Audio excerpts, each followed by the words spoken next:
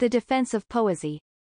When the right virtuous Edward Wotton and I were at the Emperor's court together, we gave ourselves to learn horsemanship of John Pietro Pugliano, one that with great commendation had the place of an esquire in his stable, and he, according to the fertileness of the Italian wit, did not only afford us the demonstration of his practice, but sought to enrich our minds with the contemplations therein which he thought most precious.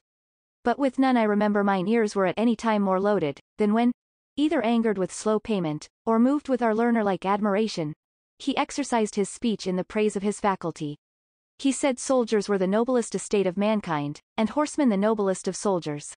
He said they were the masters of war and ornaments of peace, speedy goers and strong abiders, triumphers both in camps and courts. Nay, to so unbelieved a point he proceeded, as that no earthly thing bred such wonder to a prince, as to be a good horseman. Skill of government was but a pedanteria in comparison. Then would he add certain praises, by telling what a peerless beast the horse was, the only serviceable courtier without flattery, the beast of most beauty, faithfulness, courage, and such more, that if I had not been a piece of a logician before I came to him, I think he would have persuaded me to have wished myself a horse. But thus much at least with his no few words he drove into me, that self-love is better than any gilding to make that seem gorgeous wherein ourselves be parties, wherein if Pugliano's strong affection and weak arguments will not satisfy you, I will give you a nearer example of myself, who, I know not by what mischance, in these my not old years and idlest times, having slipped into the title of a poet, am provoked to say something unto you in the defense of that my unelected vocation, which if I handle with more goodwill than good reasons, bear with me, since the scholar is to be pardoned that follows the steps of his master. And yet I must say that, as I have just cause to make a pitiful defense of poor poetry, which from almost the highest estimation of learning is fallen to be the laughing stock of children, so have I need to bring some more available proofs, since the former is by no man barred of his deserved credit, the silly latter has had even the names of philosophers used to the defacing of it, with great danger of civil war among the muses. And first, truly, to all them that, professing learning, inveigh against poetry, may justly be objected that they go very near to ungratefulness, to seek to deface that which, in the noblest nations and languages that are known, has been the first light giver to ignorance, and first nurse, whose milk by little and little enabled them to feed afterwards of tougher knowledges. And will they now play the hedgehog, that, being received into the den, drove out his host? Or rather the vipers, that with their birth kill their parents? Let learned Greece in any of her manifold sciences be able to show me one book before Musaeus, Homer, and Hesiod, all three nothing else but poets. Nay, let any history be brought that can say any writers were there before them, if they were not men of the same skill, as Orpheus, Linus, and some other are named, who, having been the first of that country that made pens deliver of their knowledge to their posterity, may justly challenge to be called their fathers in learning. For not only in time they had this priority, although in itself antiquity be venerable, but went before them as causes, to draw with their charming sweetness the wild untamed wits to an admiration of knowledge. So as Amphion was said to move stones with his poetry to build Thebes, and Orpheus to be listened to by beasts, indeed stony and beastly people.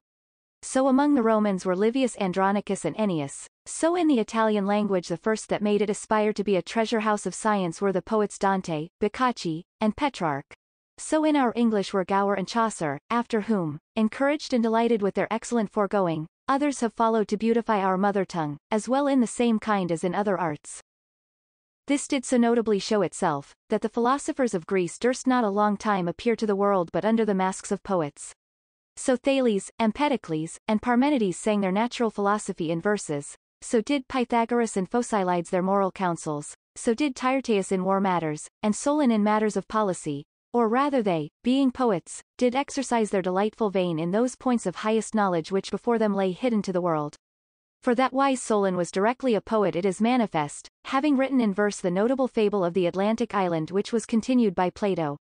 And truly even Plato whosoever well considers, shall find that in the body of his work though the inside and strength were philosophy, the skin as it were and beauty depended most of poetry. For all stands upon dialogues, wherein he feigns many honest burgesses of Athens to speak of such matters that, if they had been set on the rack, they would never have confessed them, besides his poetical describing the circumstances of their meetings, as the well-ordering of a banquet, the delicacy of a walk, with interlacing mere tales, as Gyges' ring and others, which who knows not to be flowers of poetry did never walk into Apollo's garden. And even historiographers, although their lips sound of things done, and verity be written in their foreheads, have been glad to borrow both fashion and perchance weight of the poets. so Herodotus entitled his history by the name of the Nine Muses, and both he and all the rest that followed him either stole or usurped of poetry their passionate describing of passions, the many particularities of battles which no man could affirm, or, if that be denied me, long orations put in the mouths of great kings and captains, which it is certain they never pronounced. So that truly neither philosopher nor historiographer could at the first have entered into the gates of popular judgments, if they had not taken a great passport of poetry, which in all nations at this day, where learning flourishes not, is plain to be seen, in all which they have some feeling of poetry. In Turkey, besides their law-giving divines they have no other writers but poets. In our neighbor country Ireland, where truly learning goes very bare, yet are their poets held in a devout reverence. Even among the most barbarous and simple Indians, where no writing is, yet have they their poets, who make and sing songs which they call areytos both of their ancestors' deeds and praises of their gods. A sufficient probability that, if ever learning come among them, it must be by having their hard dull wits softened and sharpened with the sweet delights of poetry, for until they find a pleasure in the exercise of the mind, great promises of much knowledge will little persuade them that know not the fruits of knowledge. In Wales, the true remnant of the ancient Britons, as there are good authorities to show the long time they had poets which they called bards, so through all the conquests of Romans, Saxons, Danes, and Normans, some of whom did seek to ruin all memory of learning from among them, yet do their poets even to this day last, so as it is not more notable in soon beginning, than in long continuing. But since the authors of most of our sciences were the Romans, and before them the Greeks, let us a little stand upon their authorities, but even so far as to see what names they have given unto this now scorned skill. Among the Romans a poet was called Vates, which is as much as a diviner, phorizer, or prophet, as by his conjoined words, vaticinium and vaticinari, is manifest, so heavenly a title did that excellent people bestow upon this heart-ravishing knowledge. And so far were they carried into the admiration thereof, that they thought in the chanceable hitting upon any such verses great foretokens of their following fortunes were placed. Whereupon grew the word of Sortes Virgilianae, when by sudden opening Virgil's book they lighted upon some verse of his making. Whereof the histories of the emperors' lives are full, as of Albinus, the governor of our island, who in his childhood met with this verse. Arma amens capio, nes sat rationis in armis. Angered, I take up arms, but reason does not lie in arms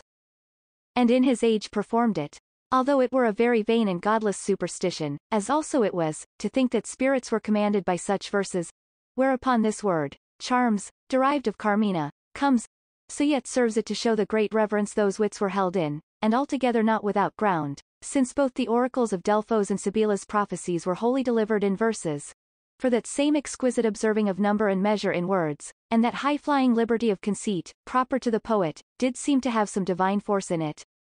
And may not I presume a little further to show the reasonableness of this word, Vates, and say that the holy David's psalms are a divine poem?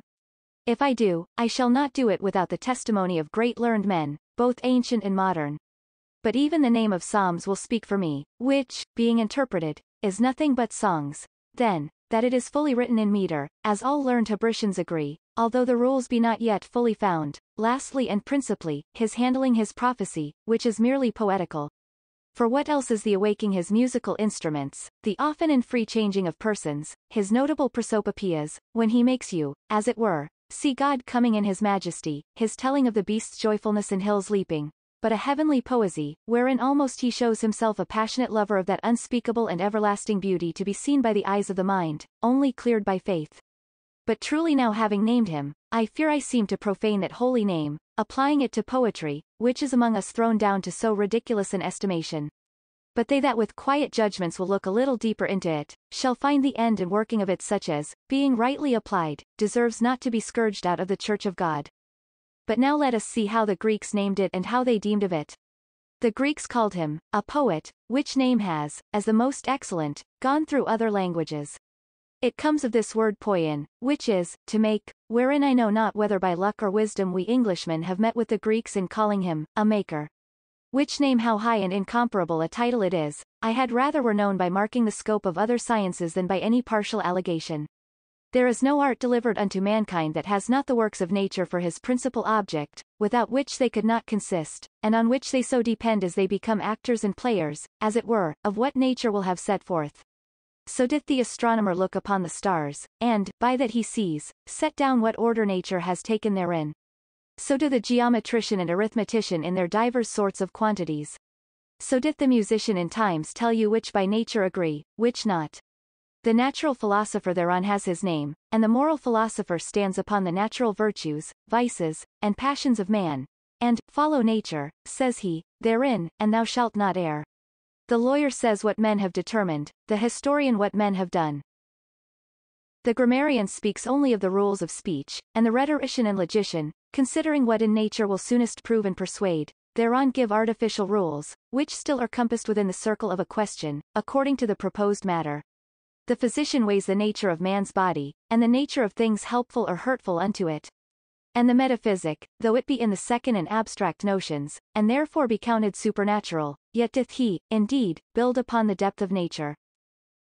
Only the poet, disdaining to be tied to any such subjection, lifted up with the vigor of his own invention, doth grow, in effect, into another nature, in making things either better than nature brings forth, or, quite anew, forms such as never were in nature, as the heroes, demigods, cyclops, chimeras, furies, and such like, so as he goes hand in hand with nature, not enclosed within the narrow warrant of her gifts, but freely ranging within the zodiac of his own wit. Nature never set forth the earth in so rich tapestry as divers poets have done, neither with pleasant rivers, fruitful trees, sweet-smelling flowers, nor whatsoever else may make the too much loved earth more lovely, her world is brazen, the poets only deliver a golden. But let those things alone, and go to man. For whom as the other things are, so it seems in him her uttermost cunning is employed. And know whether she have brought forth so true a lover as Theagenes, so constant a friend as Pylades, so valiant a man as Orlando, so right a prince as Xenophon's Cyrus, so excellent a man every way as Virgil's Aeneas?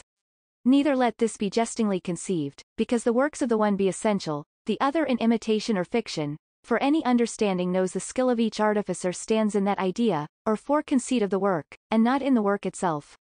And that the poet has that idea is manifest, by delivering them forth in such excellency as he has imagined them.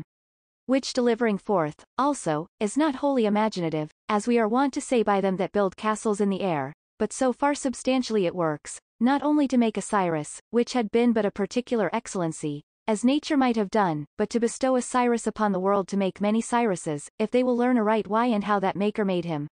Neither let it be deemed too saucy a comparison to balance the highest point of man's wit with the efficacy of nature, but rather give right honor to the heavenly maker of that maker, who, having made man to his own likeness, set him beyond and over all the works of that second nature. Which in nothing he shows so much as in, poetry, when with the force of a divine breath he brings things forth far surpassing her doings, with no small argument to the incredulous of that first accursed fall of Adam, since our erected wit makes us know what perfection is, and yet our infected will keeps us from reaching unto it. But these arguments will by few be understood, and by few are granted. Thus much I hope will be given me, that the Greeks with some probability of reason gave him the name above all names of learning. Now let us go to a more ordinary opening of him, that the truth may be the more palpable, and so, I hope, though we get not so unmatched a praise as the etymology of his names will grant, yet his very description, which no man will deny, shall not justly be barred from a principal commendation. Poesy, therefore, is an art of imitation, for so Aristotle terms it in his word mimesis, that is to say, a representing, counterfeiting, or figuring forth, to speak metaphorically, a speaking picture, with this end, to teach and delight. Of this have been three general kinds. The chief, both in antiquity and excellency, were they that did imitate the inconceivable excellencies of God. Such were David in his Psalms, Solomon in his Song of Songs, in his Ecclesiastes and Proverbs, Moses and Deborah in their hymns, and the writer of Job, which, beside other, the learned Emmanuel Tremellius and Franciscus Junius do entitle the poetical part of the scripture. Against these none will speak that has the Holy Ghost in due holy reverence. In this kind, though in a full wrong divinity, were Orpheus, Amphion, Homer in his hymns, and many other, both Greeks and Romans. And this poesy must be used by whosoever will follow St. James's counsel in singing psalms when they are merry, and I know is used with the fruit of comfort by some, when, in sorrowful pangs of their death-bringing sins, they find the consolation of the never-leaving goodness. The second kind is of them that deal with matters philosophical, either moral, as Tyrtaeus, Phocylides, and Cato, or natural, as Lucretius and Virgil's Georgics, or astronomical, as Manilius and Pontanus, or historical, as Lucan, which whom is like, the fault is in their judgment quite out of taste, and not in the sweet food of sweetly uttered knowledge. But because this second sort is wrapped within the fold of the proposed subject, and takes not the free course of his own invention, whether they properly be poets or no, let grammarians dispute, and go to the third, indeed right poets, of whom chiefly this question arises. Betwixt whom, and these second, is such a kind of difference as betwixt the meaner sort of painters, who counterfeit only such faces as are set before them, and the more excellent, who having no law but wit, bestow that in colours upon you which is fittest for the eye to see. As the constant though lamenting look of Lucretia, when she punished in herself another's fault, wherein he paints not Lucretia, whom he never saw, but paints the outward beauty of such a virtue. For these third, be they which most properly do imitate to teach and delight, and to imitate borrow nothing of what is, has been, or shall be, but range, only reigned with learned discretion, into the divine consideration of what may be, and should be. These be they that, as the first and most noble sort may justly be termed, Vates, so these are waited on in the excellentest languages and best understandings with the fore-described name of poets. For these, indeed, do merely make to imitate, and imitate both to delight and teach, and delight to move men to take that goodness in hand, which without, delight, they would fly, as from a stranger, and, teach, to make them know, that goodness, whereunto they are moved, which being the noblest scope to which ever any learning was directed, yet want there, not idle tongues to bark at them. These be subdivided into sundry more special denominations. The most notable be the heroic, lyric, tragic, comic, satiric, iambic, elegiac, pastoral, and certain others, some of these being termed according to the matter they deal with, some by the sort of verse they liked best to write in, for indeed the greatest part of poets have apparelled their poetical inventions in that numberous kind of writing which is called verse. Indeed but apparelled, verse being but an ornament and no cause to poetry, since there have been many most excellent poets that never versified, and now swarm many versifiers that need never answer to the name of poets. For Xenophon, who did imitate so excellently as to give us Effigium Justi Imperi the portraiture of a just empire under the name of Cyrus, as Cicero says of him, made therein an absolute heroical poem. So did Heliodorus in his sugared invention of that picture of love in Theagenes and Chariclea, and yet both these wrote in prose. Which I speak to show that it is not rhyming and versing that makes a poet, no more than a long gown makes an advocate, who, though he pleaded in armor, should be an advocate and no soldier, but it is that feigning notable images of virtues, vices, or what else, with that delightful teaching, which must be the right describing note to know a poet by. Although indeed the Senate of Poets has chosen verse as their fittest raiment, meaning, as in matter they passed all in all, so in manner to go beyond them. Not speaking, table talk fashion, or like men in a dream, words as they chanceably fall from the mouth, but pising each syllable of each word by just proportion, according to the dignity of the subject. Now, therefore, it shall not be amiss, first to weigh this latter sort of poetry by his works, and then by his parts, and if in neither of these anatomies he be condemnable, I hope we shall obtain a more favorable sentence. This purifying of wit, this enriching of memory, enabling of judgment, and enlarging of conceit, which commonly we call learning, under what name soever it come forth or to what immediate end soever it be directed, the final end is to lead and draw us to as high a perfection as our degenerate souls, made worse by their clay lodgings, can be capable of. This, according to the inclination of man, bred many formed impressions.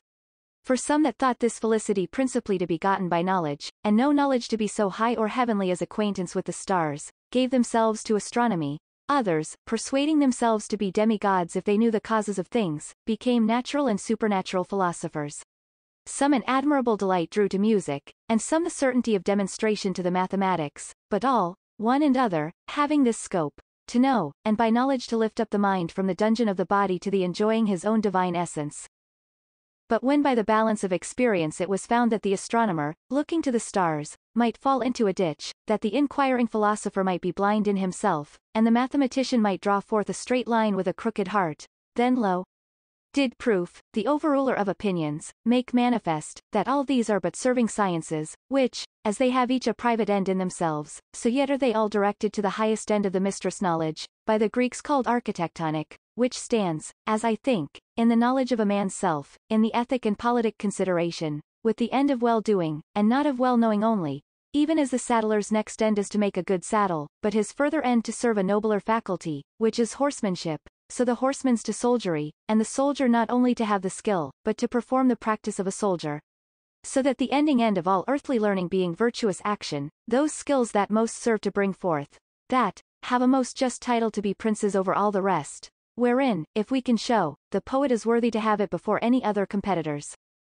Among whom as principal challengers step forth the moral philosophers, whom, methinks, I see coming toward me with a sullen gravity, as though they could not abide, vice, by daylight, rudely clothed, for to witness outwardly their contempt of outward things, with books in their hands against glory, whereto they set their names, sophistically speaking against subtlety, and angry with any man in whom they see the foul fault of anger. These men, casting largesse as they go of definitions, divisions, and distinctions, with a scornful interrogative do soberly ask whether it be possible to find any path so ready to lead a man to virtue, as that which teaches what virtue is, and teaches it not only by delivering forth his very being, his causes and effects, but also by making known his enemy, vice, which must be destroyed, and his cumbersome servant, passion, which must be mastered, by showing the generalities that contain it, and the specialities that are derived from it, lastly, by plain setting down how it extends itself out of the limits of a man's own little world, to the government of families, and maintaining of public societies,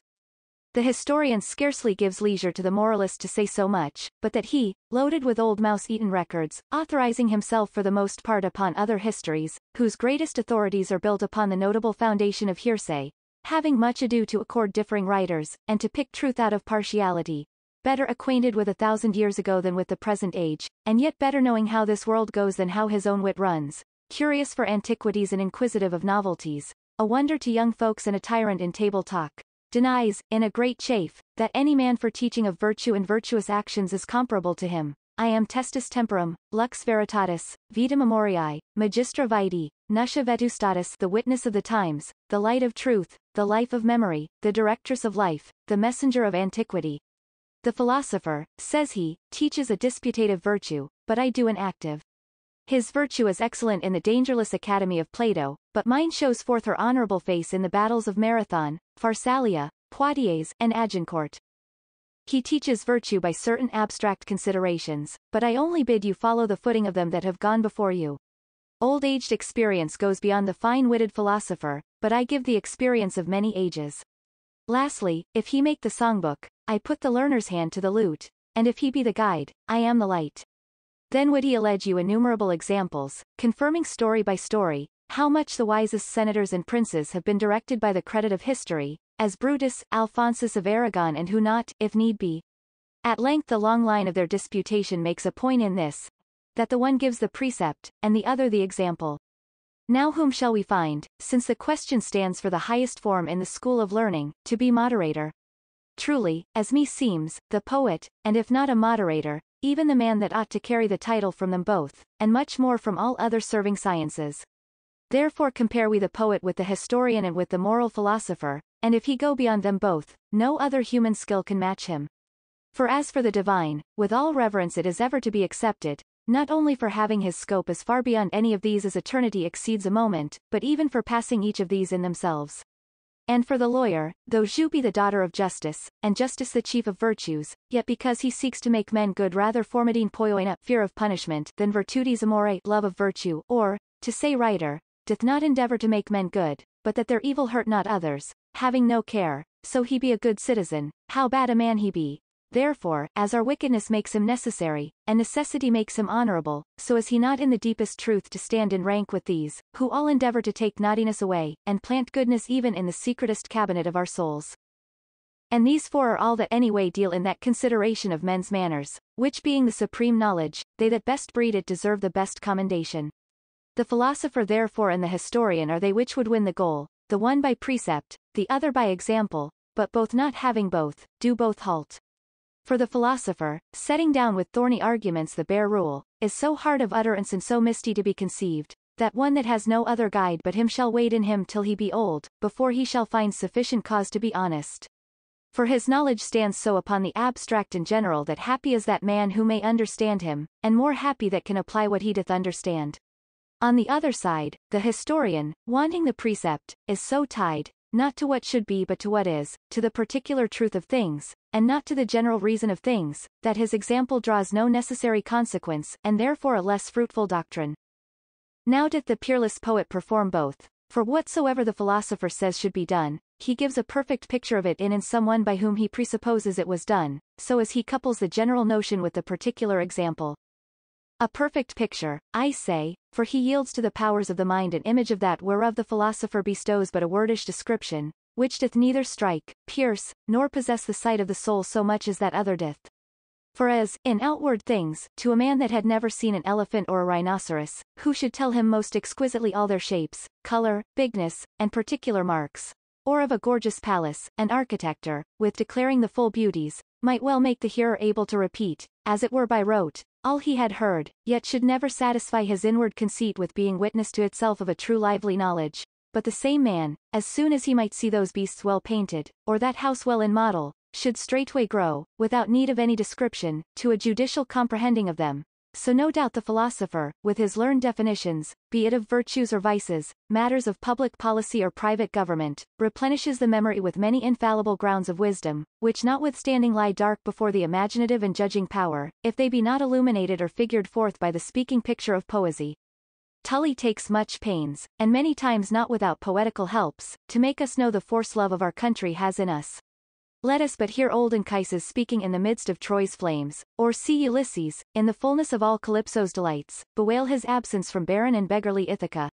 Anger, the Stoics said, was a short madness. Let but Sophocles bring you Ajax on a stage, killing and whipping sheep and oxen, thinking them the army of Greeks, with their chieftains Agamemnon and Menelaus, and tell me if you have not a more familiar insight into anger, than finding in the schoolman his genus indifference, See whether wisdom and temperance in Ulysses and Diomedes, valor in Achilles, friendship in Nisus and Euryalus, even to an ignorant man carry not an apparent shining.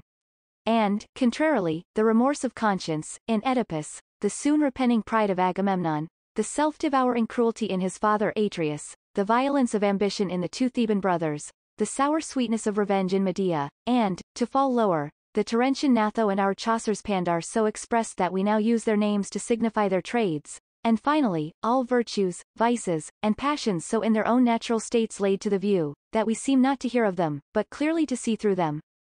But even in the most excellent determination of goodness, what philosopher's counsel can so readily direct a prince, as the feigned Cyrus in Xenophon?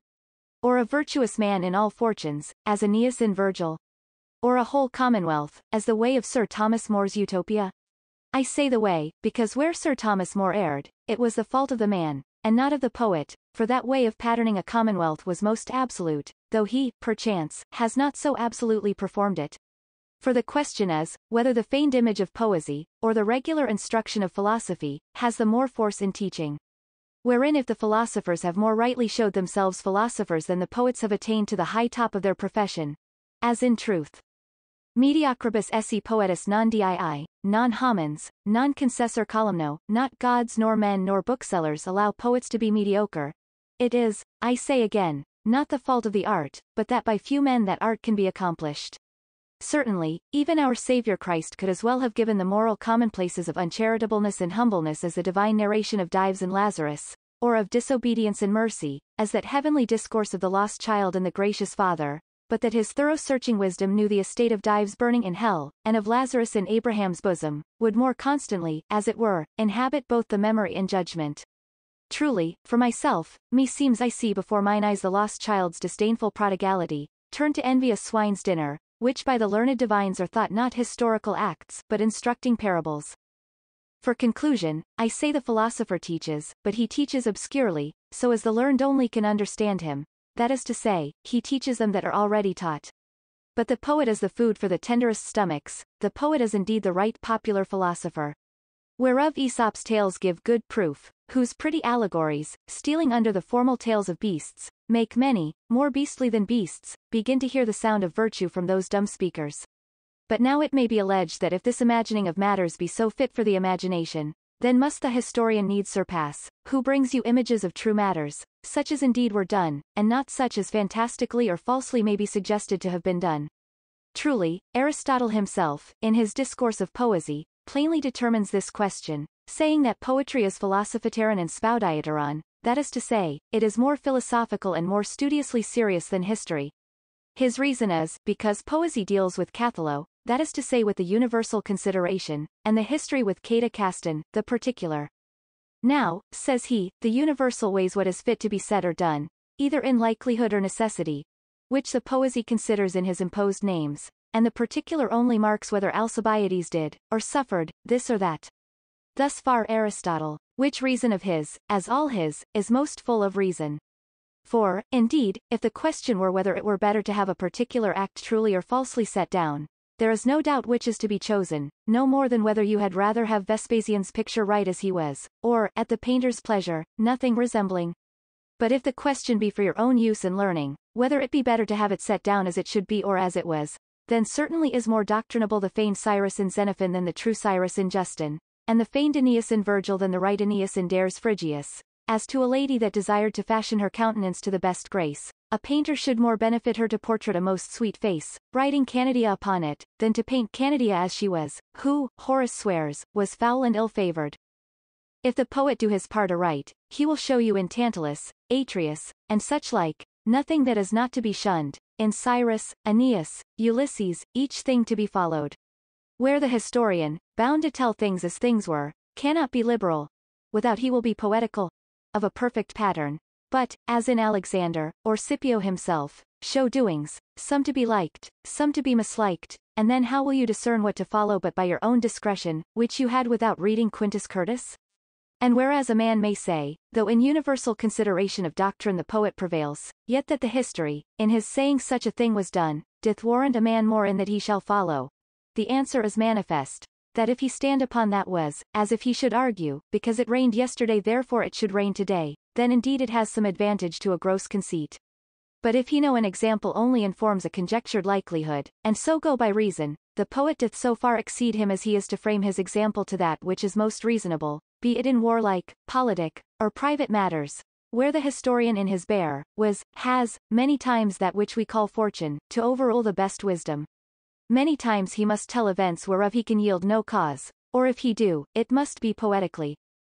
For, that a feigned example has as much force to teach as a true example. For as for to move, it is clear, since the feigned may be tuned to the highest key of passion. Let us take one example wherein a poet and a historian do concur Herodotus and Justin do both testify that Zopyrus, King Darius' faithful servant, seeing his master long resisted by the rebellious Babylonians, feigned himself in extreme disgrace of his king, for verifying of which he caused his own nose and ears to be cut off, and so flying to the Babylonians, was received, and for his known valor so far credited, that he did find means to deliver them over to Darius. Much like matter doth Livy record, of Tarquinius, and his son. Xenophon excellently feigns such another stratagem, performed by Abradatas in Cyrus' behalf. Now would I fain know, if occasion be presented unto you to serve your prince by such an honest dissimulation, why do you not as well learn it of Xenophon's fiction as of the other's verity? And, truly, so much the better, as you shall save your nose by the bargain, for Abradatas did not counterfeit so far. So, then, the best of the historian is subject to the poet, for whatsoever action or faction, whatsoever counsel, policy, or war stratagem the historian is bound to recite, that may the poet, if he list, with his imitation make his own, beautifying it both for further teaching and more delighting, as it pleases him, having all, from Dante's heaven to his hell, under the authority of his pen. Which if I be asked what poets have done? So as I might well name some, yet say I, and say again, I speak of the art, and not of the artificer. Now, to that which is commonly attributed to the praise of history, in respect of the notable learning is gotten by marking the success, as though therein a man should see virtue exalted and vice punished. Truly that commendation is peculiar to poetry and far off from history, for, indeed, poetry ever sets virtue so out in her best colors, making fortune her well-waiting handmaid, that one must needs be enamored of her. Well may you see. Ulysses in a storm, and in other hard plights, but they are but exercises of patience and magnanimity, to make them shine the more in the near following prosperity. And, of the contrary part, if evil men come to the stage, they ever go out. As the tragedy writer answered to one that misliked the show of such persons, so manacled as they little, animate, folks to follow them. But the historian, being captive to the truth of a foolish world, is many times a terror from well-doing, and an encouragement to unbridled wickedness. For see we not valiant Miltiades rot in his fetters? The just Phocion and the accomplished Socrates put to death like traitors? The cruel Severus live prosperously? The excellent Severus miserably murdered? Sylla and Marius dying in their beds? Pompey and Cicero slain then, when they would have thought exile a happiness? See we not virtuous Cato driven to kill himself, and rebel Caesar so advanced that his name yet, after sixteen hundred years, lasts in the highest honor? And mark but even Caesar's own words of the forenamed Sylla who in, that, only did honestly, to put down his dishonest tyranny. Literis nescivit, he was without learning. as if want of learning caused him to do well. He meant it not by poetry, which, not content with earthly plagues, devises new punishments in hell for tyrants, nor yet by philosophy, which teaches Occidendos esse, that they are to be killed, but, no doubt, by skill in history, for that indeed can afford you Cypselus, Periander, Phalaris, Dionysus, and I know not how many more of the same kennel, that speed well enough in their abominable injustice or usurpation. I conclude, therefore, that he excels history, not only in furnishing the mind with knowledge, but in setting it forward to that which deserves to be called and accounted good, which setting forward, and moving to well-doing, indeed sets the laurel crown upon the poet as victorious, not only of the historian, but over the philosopher, howsoever in teaching it may be questionable. For suppose it be granted, that which I suppose with great reason may be denied, that the philosopher, in respect of his methodical proceeding, teach more perfectly than the poet, yet do I think that no man is so much philophilosophos a friend to the philosopher as to compare the philosopher in moving with the poet. And that moving is of a higher degree than teaching, it may by this appear, that it is well nigh both the cause and the effect of teaching, for who will be taught, if he be not moved with desire to be taught? And what so much good doth that teaching bring forth? I speak still of moral doctrine, as that it moves one to do that which it doth teach? For, as Aristotle says, it is not gnosis knowing, but praxis doing, must be the fruit, and how praxis cannot be, without being moved to practice, it is no hard matter to consider. The philosopher shows you the way, he informs you of the particularities, as well of the tediousness of the way, as of the pleasant lodging you shall have when your journey is ended, as of the many by turnings that may divert you from your way. But this is to no man but to him that will read him, and read him with attentive, studious painfulness, which constant desire whosoever has in him, has already passed half the hardness of the way, and therefore is beholding to the philosopher but for the other half. Nay, truly, learned men have learnedly thought, that where once reason has so much overmastered passion as that the mind has a free desire to do well, the inward light each mind has in itself is as good as a philosopher's book. Since in nature we know it is well to do well, and what is well and what is evil, although not in the words of art which philosophers bestow upon us, for out of natural conceit the philosophers drew it, but to be moved to do that which we know, or to be moved with desire to know, hoc opus, hic labor est, this is the work, this is the labor. Now therein of all sciences, I speak still of human, and according to the human conceit, is our poet the monarch.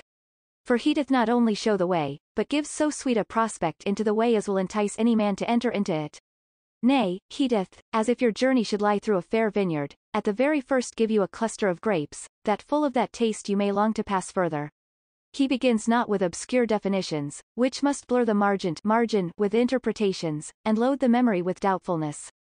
But he comes to you with words set in delightful proportion, either accompanied with, or prepared for, the well-enchanting skill of music, and with a tale, forsooth, he comes unto you, with a tale which holds children from play, and old men from the chimney corner, and, pretending no more, doth intend the winning of the mind from wickedness to virtue, even as a child is often brought to take most wholesome things, by hiding them in such other as to have a pleasant taste, which, if one should begin to tell them the nature of the aloes or rhubarb they should receive, would sooner take their physic at their ears than at their mouth.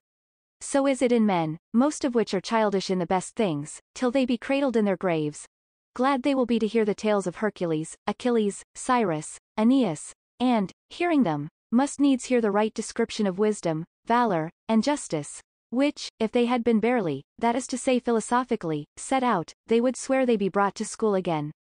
That imitation whereof poetry is, has the most conveniency to nature of all other, insomuch that, as Aristotle says, those things which in themselves are horrible, as cruel battles, unnatural monsters, are made in poetical imitation delightful.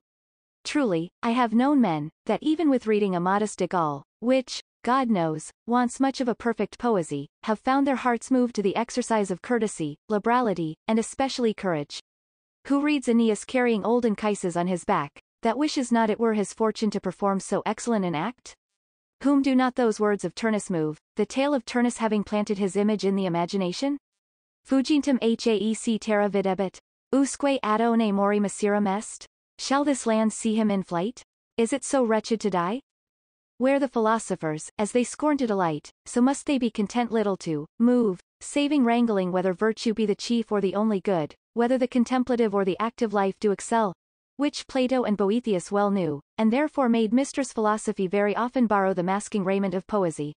For even those hard-hearted evil men who think virtue a school name, and know no other good but indulgere genio, indulge one's inclination, and therefore despise the austere admonitions of the philosopher, and feel not the inward reason they stand upon, yet will be content to be delighted, which is all the good fellow poet seems to promise, and so steal to see the form of goodness, which seen, they cannot but love, ere themselves be aware, as if they took a medicine of cherries.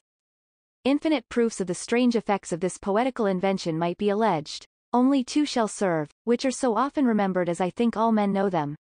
The one of Menenius Agrippa, who, when the whole people of Rome had resolutely divided themselves from the Senate, with apparent show of utter ruin, though he were, for that time, an excellent orator, came not among them upon trust either of figurative speeches or cunning insinuations, and much less with far-fetched maxims of philosophy, which, especially if they were Platonic, they must have learned geometry before they could well have conceived, but, forsooth, he behaves himself like a homely and familiar poet. He tells them a tale, that there was a time when all parts of the body made a mutinous conspiracy against the belly, which they thought devoured the fruits of each other's labor, they concluded they would let so unprofitable a spender starve. In the end, to be short, for the tale is notorious, and as notorious that it was a tale, with punishing the belly they plagued themselves. This, applied by him, wrought such effect in the people, as I never read that ever words brought forth but then so sudden and so good an alteration, for upon reasonable conditions a perfect reconcilement ensued. The other is of Nathan the prophet, who, when the holy David had so far forsaken God as to confirm adultery with murder, when he was to do the tenderest office of a friend, in laying his own shame before his eyes, sent by God to call again so chosen a servant, how doth he it but by telling of a man whose beloved lamb was ungratefully taken from his bosom, the application most divinely true, but the discourse itself feigned, which made David I speak of the second and instrumental cause, as in a glass to see his own filthiness, as that heavenly psalm of mercy well testifies. By these, therefore, examples and reasons, I think it may be manifest that the poet, with that same hand of delight, doth draw the mind more effectually than any other art doth. And so a conclusion not unfitly ensues, that as virtue is the most excellent resting place for all worldly learning to make his end of, so poetry, being the most familiar to teach it, and most princely to move towards it, in the most excellent work is the most excellent workman. But I am content not only to decipher him by his works although works in commendation or dispraise must ever hold a high authority, but more narrowly will examine his parts, so that, as in a man, though altogether may carry a presence full of majesty and beauty, perchance in some one defectious piece we may find a blemish. Now in his parts, kinds, or species, as you list to term them, it is to be noted that some poesies have coupled together two or three kinds, as tragical and comical, whereupon is risen the tragi-comical. Some, in the like manner, have mingled prose and verse, as Sannazaro and Boethius. Some have mingled matters heroical and pastoral, but that comes all to one in this question, for, if severed they be good, the conjunction cannot be hurtful.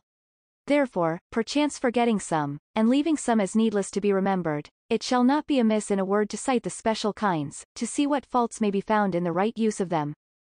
Is it then the pastoral poem which is misliked? For perchance where the hedge is lowest they will soonest leap over. Is the poor pipe disdained, which sometimes out of Meliboeus' mouth can show the misery of people under hard lords and ravening soldiers, and again, by Tityrus, what blessedness is derived to them that lie lowest from the goodness of them that sit highest? sometimes, under the pretty tales of wolves and sheep, can include the whole considerations of wrongdoing and patience, sometimes show that contention for trifles can get but a trifling victory, where perchance a man may see that even Alexander and Darius, when they strove who should be cock of this world's dunghill, the benefit they got was that the after-livers may say, hoc memini et victum frustra contendere Thyrsin, ex illo Corydon, Corydon est tempore nobis, I remember such things, and that the defeated Thyrsis struggled vainly, from that time, with us Corydon is the Corydon. Or is it the lamenting elegiac, which in a kind heart would move rather pity than blame, who bewails, with the great philosopher Heraclitus, the weakness of mankind and the wretchedness of the world, who surely is to be praised, either for compassionate accompanying just causes of lamentation, or for rightly painting out how weak be the passions of woefulness? Is it the bitter and wholesome iambic, who rubs the galled mind, in making shame the trumpet of villainy with bold and open crying out against naughtiness? Or the satiric, who omne vafer vitium ridenti tangit amico, the sly fellow touches every vice while making his friend laugh. Who sportingly never leaves till he make a man laugh at folly, and at length ashamed to laugh at himself, which he cannot avoid without avoiding the folly, who, while circum praecordia let he plays around his heartstrings gives us to feel how many headaches a passionate life brings us to, How, when all is done, est ulubris, animus si nos non deficit aequus. If we do not lack the equable temperament, it is in ulubre, noted for desolation. No, perchance it is the comic, whom naughty playmakers and stage keepers have justly made odious. To the argument of abuse I will answer after. Only thus much now is to be said, that the comedy in an imitation of the common errors of our life, which he represents in the most ridiculous and scornful sort that may be, so as it is impossible that any beholder can be content to be such a one. Now, as in geometry the oblique must be known as well as the right, and in arithmetic the odd as well as the even, so in the actions of our life who sees not the filthiness of evil, wants a great foil to perceive the beauty of virtue. This doth the comedy handle so, in our private and domestic matters, as with hearing it we get, as it were, an experience what is to be looked for of a niggardly Demea, of a crafty Davus, of a flattering Gnatho, of a vainglorious Thraso, and not only to know what effects are to be expected, but to know who be such, by the signifying badge given them by the comedian. And little reason has any man to say that men learn evil by seeing it so, set out. Since, as I said before, there is no man living, but by the force truth has in nature, no sooner sees these men play their parts, but wishes them in pistrinum in the mill, place of punishment, although perchance the sack of his own faults lie so behind his back, that he sees not himself to dance the same measure. Whereto yet nothing can more open his eyes than to find his own actions contemptibly set forth. So that the right use of comedy will, I think, by nobody be blamed, and much less of the high and excellent tragedy, that opens the greatest wounds, and shows forth the ulcers that are covered with tissue, that makes kings fear to be tyrants, and tyrants manifest their tyrannical humors, that with stirring the effects of admiration and commiseration teaches the uncertainty of this world, and upon how weak foundations gilded roofs are builded, that makes us know. Qui sceptra saevus duro imperio regit, timet timentes, medicine in octorum reddit. The savage king who wields the scepter with cruel sway fears those who fear him. Dread comes back to the head of the originator. But how much it can move, Plutarch yields a notable testimony of the abominable tyrant Alexander Pheraeus, from whose eyes a tragedy, well made and represented, drew abundance of tears, who without all pity had murdered infinite numbers, and some of his own blood, so as he that was not ashamed to make matters for tragedies, yet could not resist the sweet violence of a tragedy. And if it wrought no further good in him, it was that he, in despite of himself, withdrew himself from hearkening to that which might mollify his hardened heart, but it is not the tragedy they do mislike, for it were too absurd to cast out so excellent a representation of whatsoever is most worthy to be learned. Is it the lyric that most displeases, who with his tuned lyre and well-accorded voice, gives praise, the reward of virtue, to virtuous acts, who gives moral precepts and natural problems, who sometimes raises up his voice to the height of the heavens, in singing the lauds of the immortal God? Certainly I must confess mine own barbarousness, I never heard the old song of Percy and Douglas that I found not my heart moved more than with a trumpet, and yet it is sung but by some blind crowder a public entertainer, singing for a crowd with no rougher voice than rude style, which being so evil apparelled in the dust and cobwebs of that uncivil age, what would it work, trimmed in the gorgeous eloquence of Pindar? In Hungary I have seen it the manner of all feasts, and other such meetings, to have songs of their ancestors' valor, which that right soldier-like nation think the chiefest kindlers of brave courage. The incomparable Lacedaemonians did not only carry that kind of music ever with them to the field, but even at home, as such songs were made, so were they all content to be singers of them. When the lusty men were to tell what they did, the old men what they had done, and the young men what they would do, and where a man may say that Pindar many times praises highly victories of small moment, matters rather of sport than virtue, as it may be answered, it was the fault of the poet, and not of the poetry, so indeed the chief fault was in the time and custom of the Greeks, who set those toys at so high a price that Philip of Macedon reckoned a horse race won at Olympus among his three fearful felicities. But as the unimitable Pindar often did, so is that kind most capable and most fit to awake the thoughts from the sleep of idleness, to embrace honorable enterprises, there rests the heroical, whose very name, I think, should daunt all backbiters. For by what conceit can a tongue be directed to speak evil of that which draws with it no less champions than Achilles, Cyrus, Aeneas, Turnus Tydeus, Rinaldo, who doth not only teach and move to a truth, but teaches and moves to the most high and excellent truth, who makes magnanimity and justice shine through all misty fearfulness and foggy desires, who, if the saying of Plato and Tully be true, that who could see virtue would be wonderfully ravished with the love of her beauty, this man sets her out to make her more lovely, in her holiday apparel, to the eye of any that will deign not to disdain until they understand. But if anything be already said in the defense of sweet poetry, all concurs to the maintaining the heroical, which is not only a kind, but the best and most accomplished kind of poetry. For, as the image of each action stirs and instructs the mind, so the lofty image of such worthies most inflames the mind with desire to be worthy, and informs with counsel how to be worthy. Only let Aeneas be worn in the tablet of your memory, how he governs himself in the ruin of his country, in the preserving his old father, and carrying away his religious ceremonies, in obeying the God's commandment to leave Dido, though not only all passionate kindness, but even the human consideration of virtuous gratefulness, would have craved other of him. How in storms, how in sports, how in war, how in peace, how a fugitive, how victorious, how besieged, how besieging, how to strangers, how to allies, how to enemies, how to his own. Lastly, how in his inward self, and how in his outward government, and I think, in a mind most prejudiced with a prejudicating humor, he will be found in excellency fruitful. Yea, even as Horace says, Melius Chrysippo et Crantor better than Chrysippus and Crantor, famous philosophers. But truly I imagine it falls out with these poet whippers as with some good women who often are sick, but in faith they cannot tell where. So the name of poetry is odious to them, but neither his cause nor effects, neither the sum that contains him nor the particularities descending from him, give any fast handle to their carping dispraise.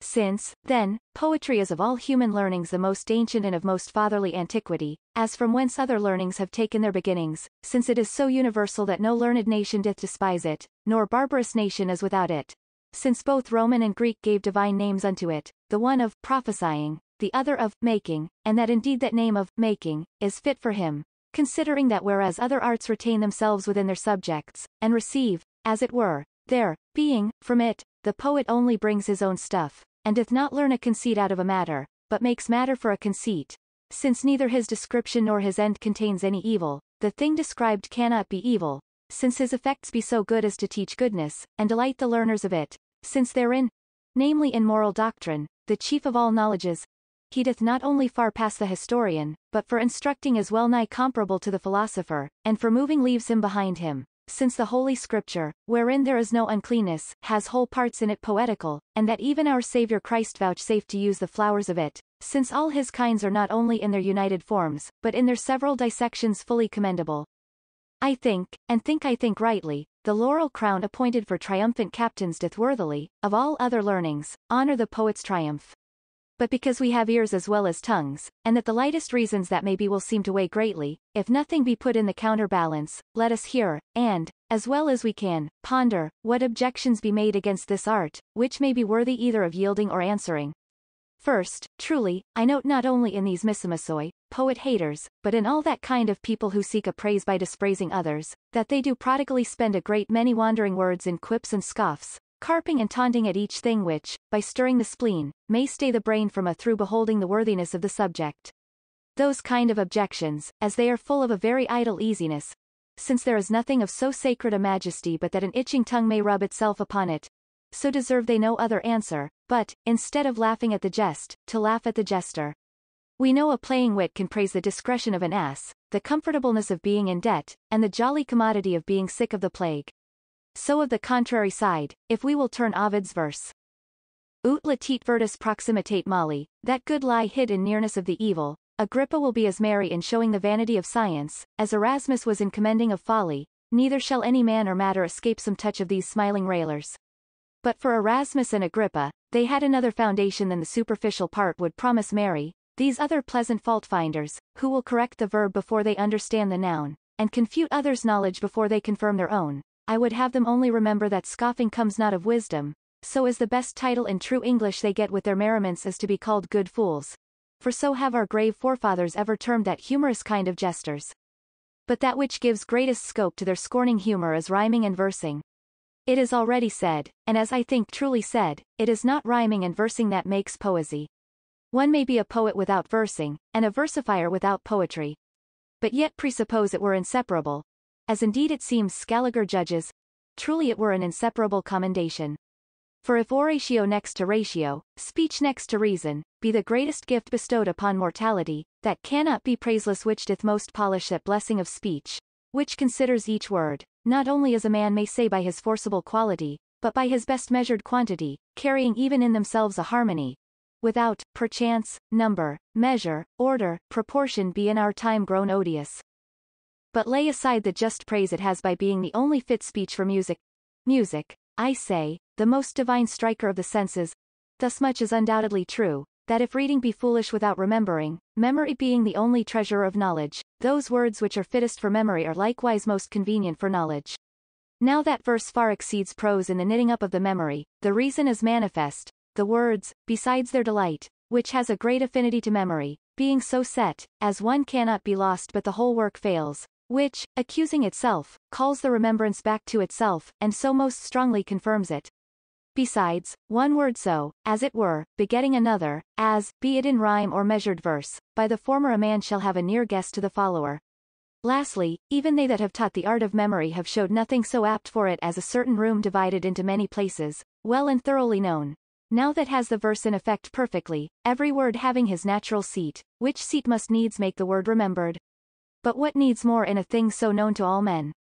Who is it that ever was a scholar that doth not carry away some verses of Virgil, Horace, or Cato, which in his youth he learned, and even to his old age serve him for hourly lessons, as Percontatorem fugito, nam garrulus idem est. Stay away from an inquisitive man. He is sure to be garrulous. And dum sibi quisque placet, credula turba sumus. While each pleases himself, we are a credulous mob.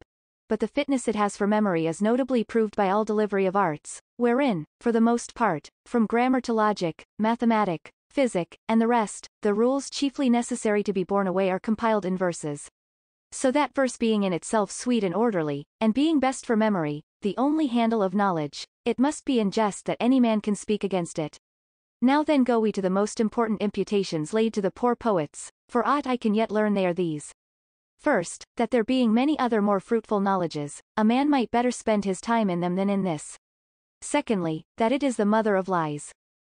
Thirdly, that it is the nurse of abuse, infecting us with many pestilent desires, with a siren's sweetness drawing the mind to the serpent's tail of sinful fancies. And herein especially comedies give the largest field to ear plough, as Chaucer says, How, both in other nations and in ours, before poets did soften us, we were full of courage, given to martial exercises, the pillars of manlike liberty, and not lulled asleep in shady idleness with poets' pastimes. And, lastly and chiefly, they cry out with an open mouth, as if they had overshot Robin Hood, that Plato banished them out of his commonwealth. Truly this is much, if there be much truth in it. First, to the first, that a man might better spend his time as a reason indeed, but it doth, as they say, but petere principium to return or revert to the beginning. For if it be, as I affirm, that no learning is so good as that which teaches and moves to virtue, and that none can both teach and move thereto so much as poesy, then is the conclusion manifest that ink and paper cannot be to a more profitable purpose employed. And certainly, though a man should grant their first assumption, it should follow, methinks, very unwillingly, that good is not good because better is better. But I still and utterly deny that there is sprung out of earth a more fruitful knowledge. To the second, therefore, that they should be the principal liars, I answer paradoxically, but truly, I think truly, that of all writers under the sun the poet is the least liar, and though he would, as a poet can scarcely be a liar. The astronomer, with his cousin the geometrician, can hardly escape when they take upon them to measure the height of the stars. How often, think you, do the physicians lie, when they aver things good for sicknesses, which afterwards send Charon a great number of souls drowned in a potion before they come to his fairy? And no less of the rest which take upon them to affirm. Now for the poet, he nothing affirms, and therefore never lies. For, as I take it, to lie is to affirm that to be true which is false. So is the other artists, and especially the historian, affirming many things, can, in the cloudy knowledge of mankind, hardly escape from many lies. But the poet, as I said before, never affirms. The poet never makes any circles about your imagination, to conjure you to believe for true what he writes. He cites not authorities of other histories, but even for his entry calls the sweet muses to inspire into him a good invention. In troth, not laboring to tell you what is or is not, but what should or should not be. And therefore though he recount things not true, yet because he tells them not for true he lies not, without we will say that Nathan lied in his speech, before alleged, to David. Which, as a wicked man durst scarce say, so think I none so simple would say that Aesop lied in the tales of his beasts, for who thinks that Aesop wrote it for actually true, were well worthy to have his name chronicled among the beasts he writes of. What child is there that, coming to a play, and seeing, Thebes written in great letters upon an old door, doth believe that it is Thebes? If then a man can arrive at that child's age, to know that the poet's persons and doings are but pictures what should be, and not stories what have been, they will never give the lie to things not affirmatively but allegorically and figuratively written. And therefore, as in history looking for truth, they may go away full fraught with falsehood, so in poesy looking but for fiction, they shall use the narration but as an imaginative ground, plot of a profitable invention. But here too is replied that the poets give names to men they write of, which argues a conceit of an actual truth, and so, not being true, proves a falsehood. And did the lawyer lie then, when, under the names of John of the Style, and John of the Nokes, he puts his case? But that is easily answered, their naming of men is but to make their picture the more lively, and not to build any history. Painting men, they cannot leave men nameless. We see we cannot play at chess but that we must give names to our chessmen. And yet, methinks, he were a very partial champion of truth that would say we lied for giving a piece of wood the reverend title of a bishop. The poet names Cyrus and Aeneas no other way than to show what men of their fames, fortunes, and estates should do. Their third is, how much it abuses men's wit, training it to wanton sinfulness and lustful love. For indeed that is the principal, if not the only, abuse I can hear alleged. They say the comedies rather teach than reprehend amorous conceits. They say the lyric is larded with passionate sonnets, the elegiac weeps the one of his mistress, and that even to the heroical Cupid has ambitiously climbed alas. Love, I would thou couldst as well defend thyself as thou canst defend others. I would those on whom thou dost attend could either put thee away, or yield good reason why they keep thee. But grant love of beauty to be a beastly fault, although it be very hard, since only man, and no beast, has that gift to discern beauty. Grant that lovely name of love to deserve all hateful reproaches, although even some of my masters the philosophers spend a good deal of their lamp oil in setting forth the excellency of it. Grant, I say, whatsoever they will have granted that not only love, but lust, but vanity, but, if they list, scurrility possesses many leaves of the poet's books, Yet think I when this is granted, they will find their sentence may with good manners put the last words foremost, and not say that poetry abuses man's wit, but that man's wit abuses poetry.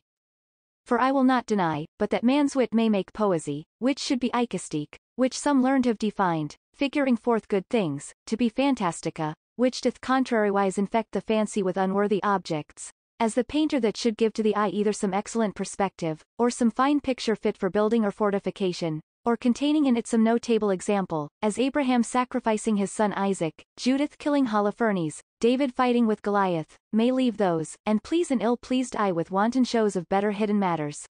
But what? Shall the abuse of a thing make the right use odious? Nay, truly, though I yield that poesy may not only be abused, but that being abused, by the reason of his sweet charming force, it can do more hurt than any other army of words, yet shall it be so far from concluding that the abuse should give reproach to the abused, that contrariwise it is a good reason, that whatsoever, being abused, doth most harm, being rightly used, and upon the right use each thing receives his title, doth most good. Do we not see the skill of physic, the best rampire rampart to our often assaulted bodies, being abused, teach poison, the most violent destroyer? Doth not knowledge of law, whose end is to even and right all things, being abused, grow the crooked foster of horrible injuries? Doth not, to go in the highest, God's word abused breed heresy, and his name abused become blasphemy. Truly a needle cannot do much hurt, and as truly, with leave of ladies be it spoken, it cannot do much good. With a sword thou may kill thy father, and with a sword thou may defend thy prince and country. So that, as in their calling poets the fathers of lies they say nothing, so in this their argument of abuse they prove the commendation. They allege herewith, that before poets began to be in price, our nation has set their heart's delight upon action, and not upon imagination, rather doing things worthy to be written, than writing things fit to be done. What that before time was, I think scarcely Sphinx can tell, since no memory is so ancient that has the precedence of poetry.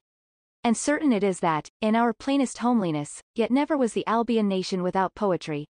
Mary, this argument, though it be levelled against poetry, Yet is it indeed a chain shot against all learning, or bookishness, as they commonly term it. Of such mind were certain Goths, of whom it is written that, having in the spoil of a famous city taken a fair library, one hangman, belike fit to execute the fruits of their wits, who had murdered a great number of bodies, would have set fire in it. No, said another very gravely, take heed what you do, for while they are busy about these toys, we shall with more leisure conquer their countries.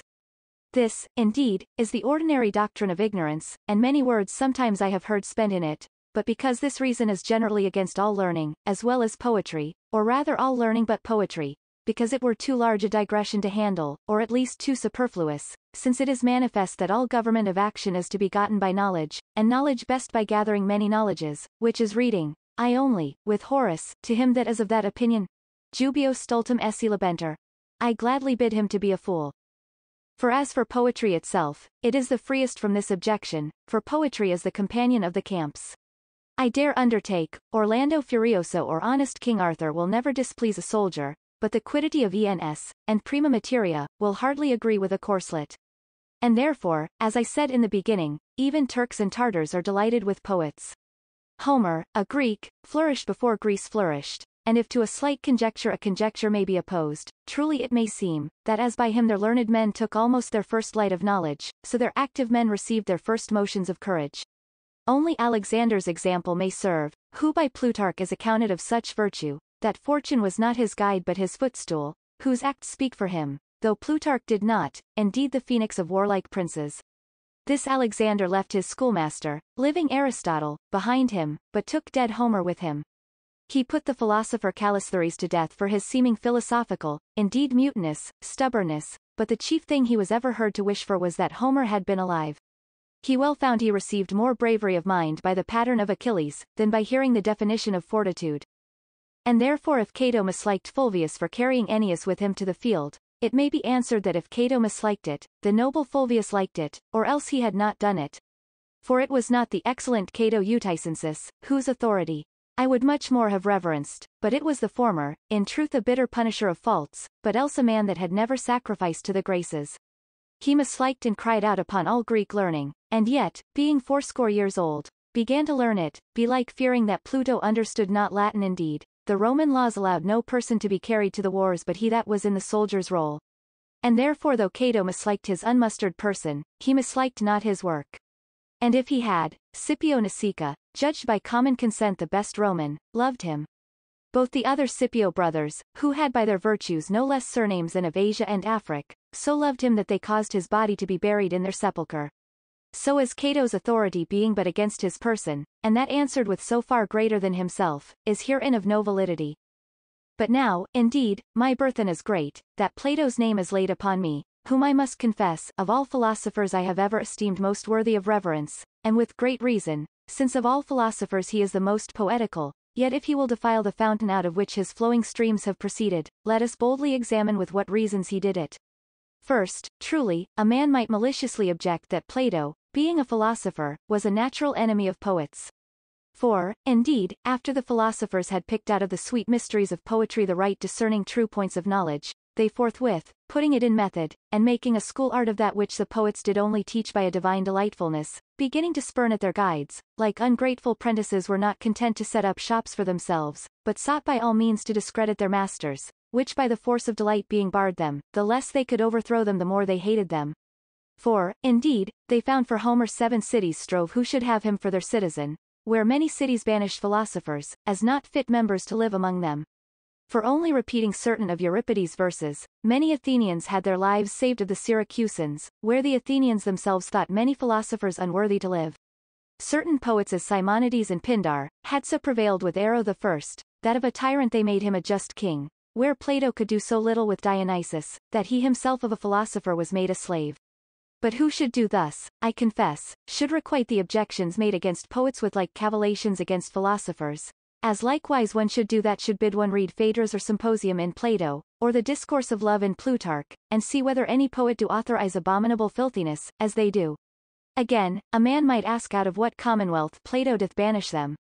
In sooth, thence where he himself allows community of women. So as belike this banishment grew not for effeminate wantonness, since little should poetical sonnets be hurtful when a man might have what woman he listed. But I honor philosophical instructions, and bless the wits which bred them, so as they be not abused, which is likewise stretched to poetry. Saint Paul himself, who yet, for the credit of poets, alleges twice two poets, and one of them by the name of a prophet, sets a watchword upon philosophy, indeed upon the abuse. So doth Plato upon the abuse, not upon poetry. Plato found fault that the poets of his time filled the world with wrong opinions of the gods, making light tales of that unspotted essence, and therefore would not have the youth depraved with such opinions. Herein may much be said. Let this suffice, the poets did not induce such opinions, but did imitate those opinions already induced. For all the Greek stories can well testify that the very religion of that time stood upon many and many fashioned gods, not taught so by the poets, but followed according to their nature of imitation. Who list may read in Plutarch the discourses of Isis and Osiris, of the cause why oracles ceased, of the divine providence, and see whether the theology of that nation stood not upon such dreams, which the poets indeed superstitiously observed, and truly, since they had not the light of Christ, did much better in it than the philosophers, who, shaking off superstition, brought in atheism. Plato therefore, whose authority I had much rather justly construe than unjustly resist, meant not in general of poets, in those words of which Julius Scaliger says, qua authoritate barbari quidam atqui hispidi, abutiva ad poetas e republica exigendos which authority Plato's some barbarians want to abuse, in order to banish poets from the state, but only meant to drive out those wrong opinions of the deity, whereof now, without further law, Christianity has taken away all the hurtful belief, perchance, as he thought, nourished by the then esteemed poets. And a man need go no further than to Plato himself to know his meaning, who, in his dialogue called Ion, gives high and rightly divine commendation unto poetry. So is Plato, banishing the abuse, not the thing, not banishing it, but giving due honor unto it, shall be our patron and not our adversary. For, indeed, I had much rather, since truly I may do it, show their mistaking of Plato, under whose lion's skin they would make an ass, like braying against poesy, than go about to overthrow his authority, whom, the wiser a man is, the more just cause he shall find to have in admiration, especially since he attributes unto poesy more than myself do, namely to be a very inspiring of a divine force, far above man's wit, as in the forenamed dialogue is apparent. Of the other side, who would show the honors have been by the best sort of judgments granted them, a whole sea of examples would present themselves, Alexanders, Caesars, Scipios, all favorers of poets, Laelius, called the Roman Socrates, himself a poet, so as part of Heautontimorumenos in Terence was supposed to be made by him. And even the Greek Socrates, whom Apollo confirmed to be the only wise man, is said to have spent part of his old time in putting Aesop's fables into verses, and therefore full evil should it become his scholar, Plato, to put such words in his master's mouth against poets. But what needs more? Aristotle writes the art of poesy, and why, if it should not be written? Plutarch teaches the use to be gathered of them, and how, if they should not be read. And who reads Plutarch's either history or philosophy, shall find he trims both their garments with guards ornaments of poesy. But I list not to defend poesy with the help of his underling historiography. Let it suffice that it is a fit soil for praise to dwell upon, and what dispraise may set upon it, is either easily overcome, or transformed into just commendation. So that since the excellencies of it may be so easily and so justly confirmed, and the low creeping objections so soon trodden down, it not being an art of lies, but of true doctrine, not of effeminateness, but of notable stirring of courage, not of abusing man's wit, but of strengthening man's wit, not banished, but honored by Plato, let us rather plant more laurels for to engarland our poets' heads, which honor of being laureate, as besides them only triumphant captains were, is a sufficient authority to show the price they ought to be held in, than suffer the ill-savored breath of such wrong speakers once to blow upon the clear springs of poesy. But since I have run so long a career in this matter, methinks, before I give my pen a full stop, it shall be but a little more lost time to inquire why England, the mother of excellent minds, should be grown so hard a stepmother to poets, who certainly in wit ought to pass all others, since all only proceeds from their wit, being indeed makers of themselves, not takers of others. How can I but exclaim? Musa, mihi causes memora, quo numen laeso? O Muse, recall to me the causes by which her divine will had been slighted. Sweet poesy, that has anciently had kings, emperors, senators, great captains, such as, besides a thousand others, David, Adrian, Sophocles, Germanicus, not only to favor poets, but to be poets, and of our nearer times can present for her patrons a Robert, King of Sicily, the great King Francis of France, King James of Scotland, such cardinals as Bembus and Bibiena, such famous preachers and teachers as Beza and Melanchthon, so learned philosophers as Fracastorius and Scaliger, so great orators as Pontanus and Muretus, so piercing wits as George Buchanan, so grave counselors as, besides many, but before all, that hospital of France, than whom, I think, that realm never brought forth a more accomplished judgment more firmly builded upon virtue. I say these, with numbers of others, not only to read others' poesies but to poetize for others' reading. That poesy, thus embraced in all other places, should only find in our time a hard welcome in England, I think the very earth laments it, and therefore decks our soil with fewer laurels than it was accustomed. For heretofore poets have in England also flourished, and, which is to be noted, even in those time when the trumpet of Mars did sound loudest. And now that an over-faint quietness should seem to strew the house for poets, they are almost in as good reputation as the mountebanks at Venice. Truly even that, as of the one side it gives great praise to poesy, which, like Venus, but to better purpose, has rather be troubled in the net with Mars, than enjoy the homely quiet of Vulcan, so serves it for a piece of a reason why they are less grateful to idle England, which now can scarce endure the pain of a pen. Upon this necessarily follows, that base men with servile wits undertake it, who think it enough if they can be rewarded of the printer. And so as Epaminondas is said, with the honor of his virtue to have made an office, by his exercising it, which before was contemptible, to become highly respected, so these men, no more but setting their names to it, by their own disgracefulness disgrace the most graceful poesy. For now, as if all the muses were got with child to bring forth bastard poets, without any commission they do post over the banks of Helicon, till they make their readers more weary than post horses, while, in the meantime, they quis meliore luto finxit praecordia titan. On hearts the Titan has formed better clay, are better content to suppress the outflowings of their wit, than by publishing them to be accounted knights of the same order. But I that, before ever I dost aspire unto the dignity, am admitted into the company of the paper blurrers, do find the very true cause of our wanting estimation as want of desert, taking upon us to be poets in despite of Pallas though lacking inspiration. Now wherein we want desert were a thankworthy labor to express, but if I knew, I should have mended myself. But as I never desired the title, so have I neglected the means to come by it. Only, overmastered by some thoughts, I yielded an inky tribute unto the merry, they that delight in poesy itself should seek to know what they do and how they do, and especially look themselves in an unflattering glass of reason, if they be inclinable unto it. For poesy must not be drawn by the ears, it must be gently led, or rather it must lead, which was partly the cause that made the ancient learned affirm it was a divine gift, and no human skill, since all other knowledges lie ready for any that has strength of wit, a poet no industry can make if his own genius be not carried into it.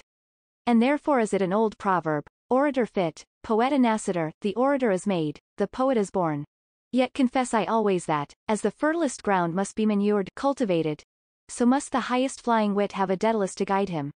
That Daedalus, they say, both in this and in other, has three wings to bear itself up into the air of due commendation, that is, art, imitation, and exercise. But these neither artificial rules nor imitative patterns, we much cumber ourselves withal. Exercise indeed we do, but that very far backwardly, for where we should exercise to know, we exercise as having known, and so is our brain delivered of much matter which never was begotten by knowledge. For there being two principal parts, matter to be expressed by words, and words to express the matter, in neither we use art or imitation rightly. Our matter is quodlibet indeed, though wrongly performing Ovid's verse. Quicquid conabardicere, versus erat. Whatever I tried to say was poetry, never marshalling it into any assured rank, that almost the readers cannot tell where to find themselves. Chaucer, undoubtedly, did excellently in his Troilus and Cressida, of whom, truly, I know not whether to marvel more, either that he in that misty time could see so clearly, or that we in this clear age walk so stumblingly after him. Yet had he great wants, fit to be forgiven in so revered antiquity. I account the mirror of magistrates meetly furnished of beautiful parts, and in the Earl of Surrey's lyrics many things tasting of a noble birth, and worthy of a noble mind. The Shepherd's Calendar has much poetry in his eclogues, indeed worthy the reading, if I be not deceived. That same framing of his style to an old rustic language I dare not allow, since neither Theocritus in Greek, Virgil in Latin, nor Sannazaro in Italian did affect it. Besides these, I do not remember to have seen but few, to speak boldly, printed, that have poetical sinews in them.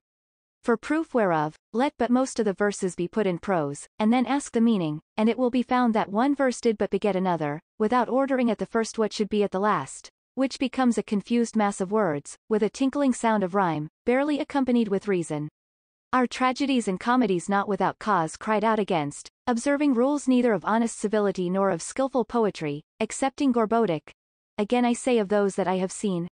Which notwithstanding as it is full of stately speeches and well-sounding phrases, climbing to the height of Seneca's style, and is full of notable morality, which it doth most delightfully teach, and so obtain the very end of poesy, Yet in truth it is very defectious in the circumstances, which grieves me, because it might not remain as an exact model of all tragedies.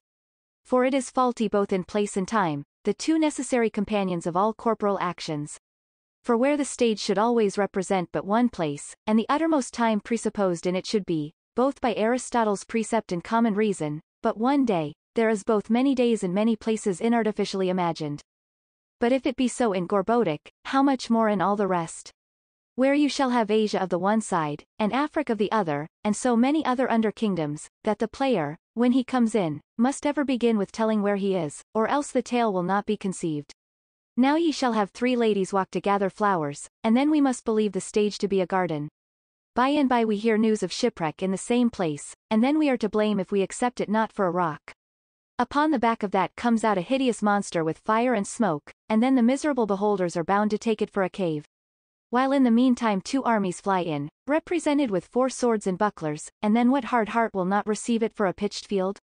Now of time they are much more liberal. For ordinary it is that two young princes fall in love, after many traverses she is got with child, delivered of a fair boy, he is lost, grows a man, falls in love, and is ready to get another child. And all this in two hours space, which how absurd it is in sense even sense may imagine, and art has taught, and all ancient examples justified, and at this day the ordinary players in Italy will not err in.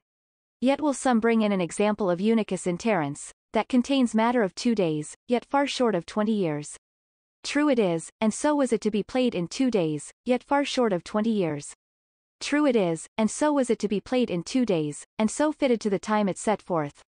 And though Plautus have in one place done amiss, let us hit with him, and not miss with him. But they will say, How then shall we set forth a story which contains both many places and many times? And do they not know that a tragedy is tied to the laws of poesy, and not of history, not bound to follow the story, but having liberty either to feign a quite new matter, or to frame the history to the most tragical convenience?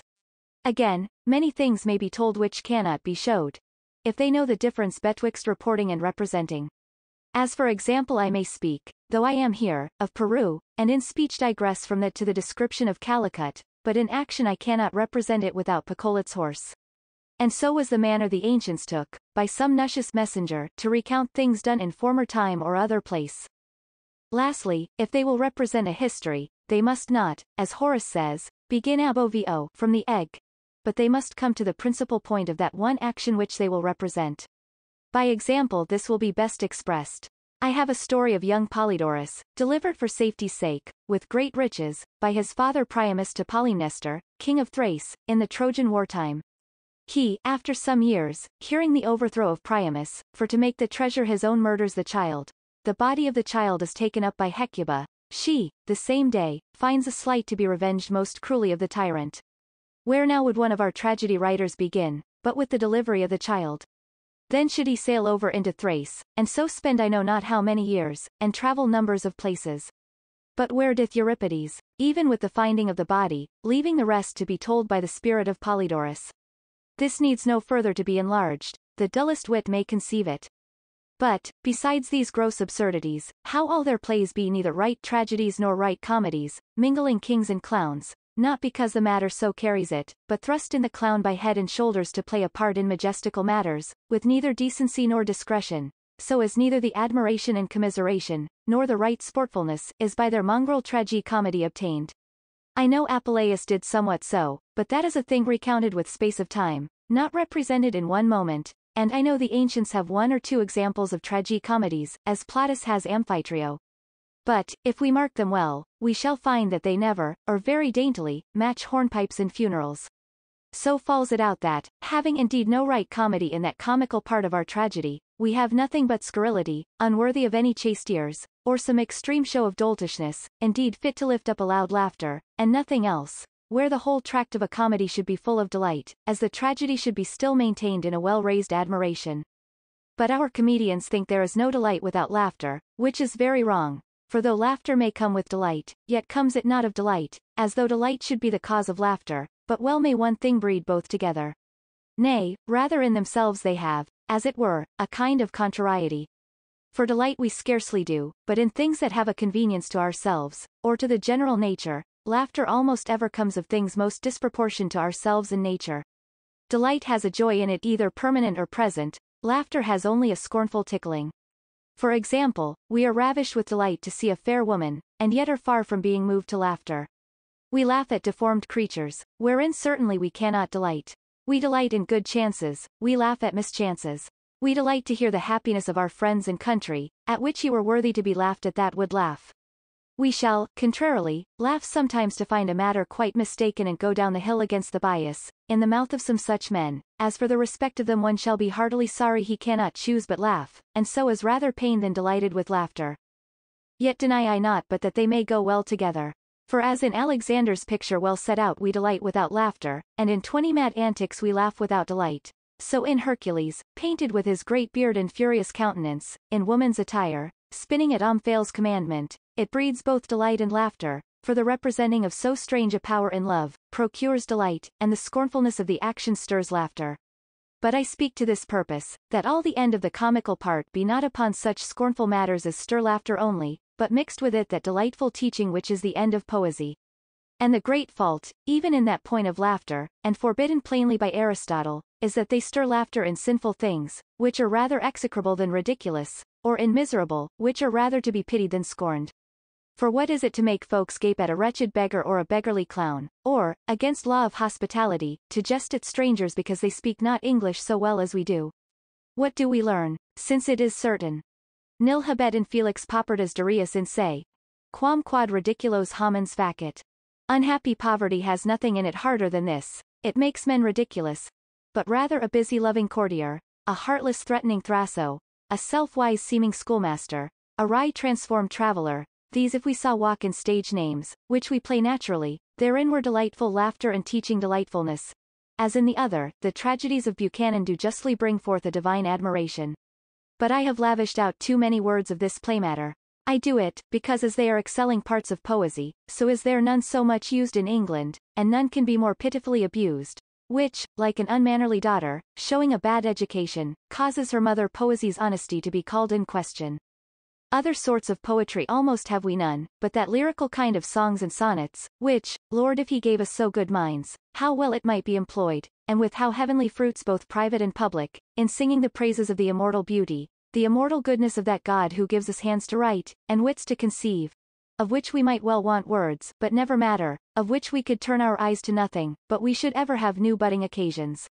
But truly, many of such writings as come under the banner of unresistible love, if I were a mistress would never persuade me they were in love. So coldly they apply fiery speeches, as men that had rather read lovers' writings, and so caught up certain swelling phrases, which hang together like a man which once told me the wind was at northwest and by south, because he would be sure to name winds enough, than that in truth they feel those passions, which easily, as I think, may be bewrayed by that same forcibleness, or energia, as the Greeks call it, of the writer. But let this be a sufficient, though short note, that we miss the right use of the material point of poesy. Now for the outside of it, which is words, or as I may term it diction, it is even well worse, so is that honey-flowing matron eloquence apparelled or rather disguised, in a courtesan-like painted affectation, one time with so far-fetched words, that many seem monsters, but must seem strangers, to any poor Englishman, another time with coursing of a letter alliteration as if they were bound to follow the method of a dictionary, another time with figures and flowers extremely winter-starved. But I would this fault were only peculiar to versifiers, and had not as large possession among prose printers, and, which is to be marvelled, among many scholars, and, which is to be pitied, among some preachers. Truly I could wish, if at least I might be so bold to wish in a thing beyond the reach of my capacity, the diligent imitators of Tully and Demosthenes, most worthy to be imitated, did not so much keep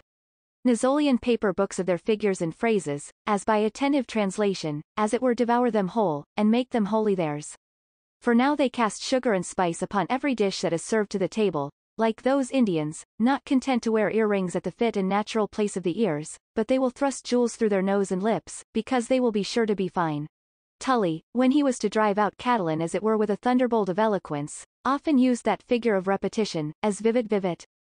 Imo vero etiam in senatum venit, etc. He lives does he live? In truth, he even comes to the Senate. Indeed, inflamed with a well-grounded rage, he would have his words, as it were, double out of his mouth, and so do that artificially, which we see men in choler do naturally. And we, having noted the grace of those words, hale them in some time to a familiar epistle, when it were too much choler to be choleric. How well store of similiter cadentes doth sound with the gravity of the pulpit, I would but invoke Demosthenes' soul to tell, who with a rare daintiness uses them. Truly they have made me think of the sophister that with too much subtlety would prove two eggs three, and though he might be counted a sophister, had none for his labor. So these men bringing in such a kind of eloquence, well may they obtain an opinion of a seeming fineness, but persuade few. Which should be the end of their fineness. Now for similitudes in certain printed discourses, I think all herborists, all stories of beasts, fowls, and fishes are rifled up, that they may come in multitudes to wait upon any of our conceits, which certainly is as absurd a surfeit to the ears as is possible. For the force of a similitude not being to prove anything to a contrary disputer, but only to explain to a willing hearer, when that is done, the rest is a most tedious prattling, rather overswaying the memory from the purpose whereto they were applied, than any wit informing the judgment, already either satisfied by similitudes not to be satisfied. For my part, I do not doubt, when Antonius and Crassus, the great forefathers of Cicero in eloquence, the one, as Cicero testifies of them, pretended not to know art, the other not to set by it, because with a plain sensibleness they might win credit of popular ears, which credit is the nearest step to persuasion, which persuasion is the chief mark of oratory. I do not doubt, I say, but that they use these knacks, very sparingly, which who doth generally use any man may see doth dance to his own music, and so be noted by the audience more careful to speak curiously than truly. Undoubtedly, at least to my opinion undoubtedly I have found in divers, small learned, courtiers a more sound style than in some professors of learning, of which I can guess no other cause, but that the courtier following that which by practice he finds fittest to nature, therein, though he know it not, doth according to art, though not by art, where the other, using art to show art and not to hide art as in these cases he should do, flies from nature, and indeed abuses art. But what? Methinks I deserve to be pounded for straying from poetry to oratory. But both have such an affinity in the wordish consideration, that I think this digression will make my meaning receive the fuller understanding, which is not to take upon me to teach poets how they should do, but only, finding myself sick among the rest, to show some one or two spots of the common infection grown among the most part of writers, that, acknowledging ourselves somewhat awry, we may bend to the right use both of matter and manner, whereto our language gives us great occasion, being, indeed, capable of any excellent exercising of it. I know some will say it is a mingled language. And why not so much the better, taking the best of both the other? Another will say it wants grammar. Nay, truly, it has that praise that it wants not grammar. For grammar it might have, but it needs it not, being so easy in itself, and so void of those cumbersome differences of cases, genders, moods, and tenses, which, I think, was a piece of the Tower of Babylon's curse, that a man should be put to school to learn his mother tongue. But for the uttering sweetly and properly the conceits of the mind, which is the end of speech, that has it equally with any other tongue in the world, and is particularly happy in compositions of two or three words together, near the Greek, far beyond the Latin, which is one of the greatest beauties that can be in a language.